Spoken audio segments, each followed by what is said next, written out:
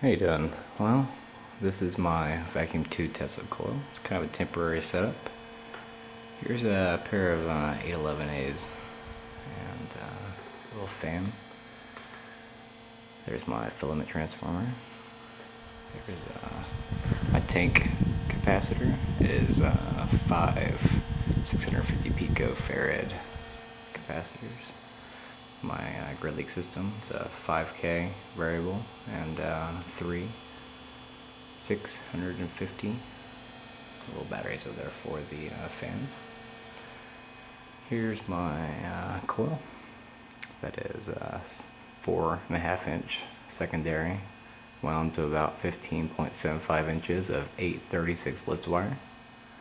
And uh, primary is 30 wires, or 30 turns, tapped at uh, 20 through 30.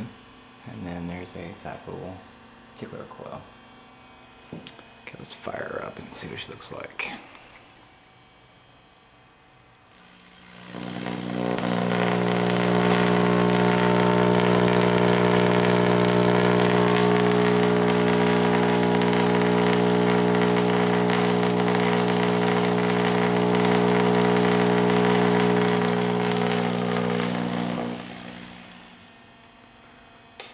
So, we're getting a little reddening on the plates when I do it. Here, I'll fire it up again, let you see.